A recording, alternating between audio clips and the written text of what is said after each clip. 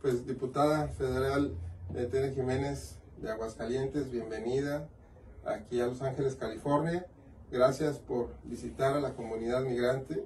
Es para nosotros un placer el que usted el día de hoy se encuentre aquí en nuestras oficinas con varios líderes eh, de organizaciones migrantes y pues gracias por, por permitirnos tener esta estrecha comunicación, sobre todo eh, gracias por su atención y su tiempo por estar aquí.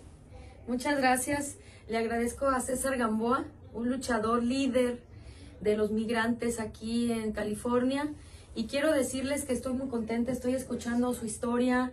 También tiene descendientes en Aguascalientes y para mí pues es un gusto estar en esta alianza importante. Le comento que cuando fui alcaldesa de Aguascalientes se acercaban muchas personas, varias personas ahí al miércoles ciudadano y me comentaban de varios trámites. Yo lo quiero felicitar a él, a su familia, a las asociaciones que están aquí también acompañándonos, porque realmente ayudan al ser humano y luchan por esos derechos humanos que tenemos todas las personas. Los quiero felicitar muchísimo.